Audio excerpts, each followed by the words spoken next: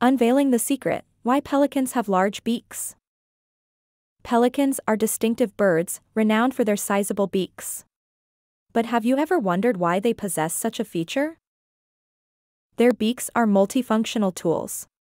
This feature serves primarily for feeding, assisting these birds to scoop up fish from water effortlessly. Not just a feeding tool, their large beaks play a significant role in their courtship rituals. Male pelicans often showcase their beaks to attract females. The beak's pouch, called a gular pouch, also aids in controlling their body temperature. When overheated, pelicans flutter this pouch to cool down. These beaks are also used to preen their feathers, keeping them clean and free from parasites. This helps maintain their flight condition. Lastly, the large size of the beak acts as a deterrent to predators. It can inflict a painful peck if threatened, ensuring their safety. So, the large beak of a pelican is not just an oddity of nature but a beautifully evolved multipurpose tool for survival.